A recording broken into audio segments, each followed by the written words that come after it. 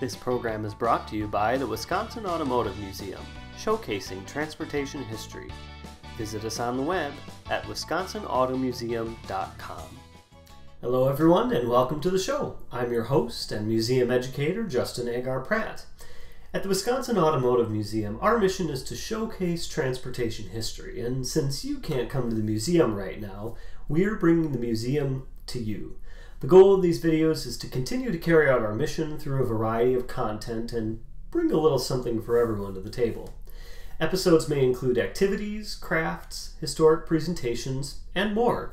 We're continuing to explore new ways to stay connected with our community. As stated before, our museum's mission is to showcase transportation history. And while cars are the most prevalent form of transportation, both inside and outside of our museum's walls, we can't forget about the roads on which they travel. And it just so happens that Wisconsin was a pioneer in this regard. In fact, the nations of the world owe their modern highway numbering systems to our state. If you visited the museum, you've probably seen these posts spread throughout the first four exhibits. These signpost reproductions are not merely decoration.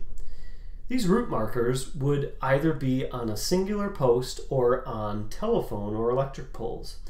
The inverted triangle is still part of today's highway sign, signs in Wisconsin. It all started in the early 1900s as interest in cars and a desire for better roadways grew not only in Wisconsin but all across the United States. A 1908 amendment to our state constitution led the way to the formation of the State Highway Commission in 1911. Between 1911 and 1917, Wisconsin trails started being marked as roads. The first was the Lake to River Road, stretching from Milwaukee to La Crosse. Here's the problem at this time, anyone could mark a road car clubs, tire companies, oil companies, and tourist associations could post signs on any randomly chosen route. Sometimes these routes would veer far from the best and most direct path in order to pass through a city which paid a fee to have the marked route run through the center of town. In 1917, the official state trunk highway system was established. From this point forward, it was no longer legal to post a trail in Wisconsin without approval from the state. By the end of 1917, a system of 5,000 miles of numbered state highways were laid to paper. In May of 1918, signs were posted on the highways, and Wisconsin became the first in the world with a signed system of route numbered highways. Michigan was the first outside of Wisconsin to adopt this model. And since then, every state in the US and almost every country around the world has laid out similar systems of numbered highways.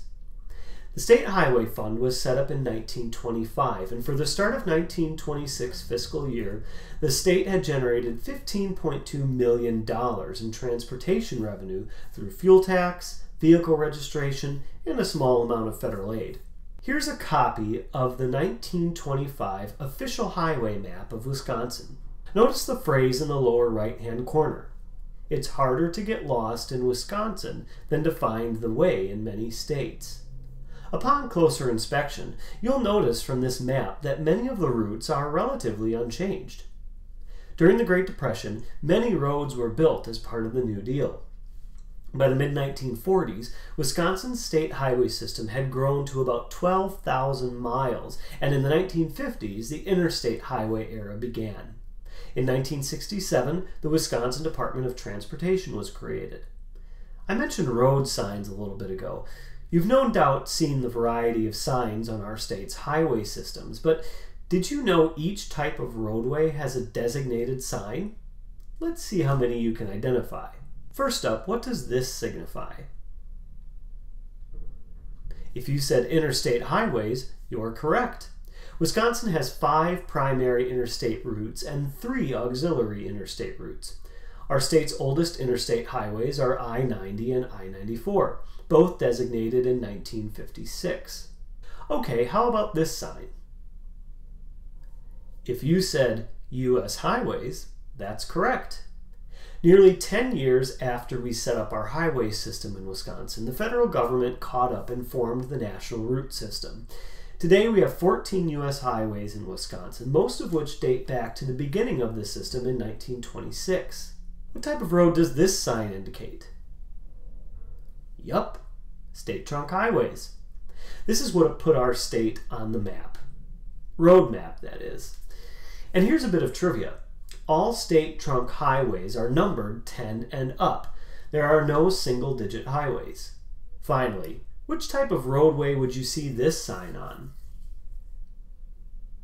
Yes, we have county trunk highways. Each county maintains its own highway system, and these routes are designated by letters rather than numbers.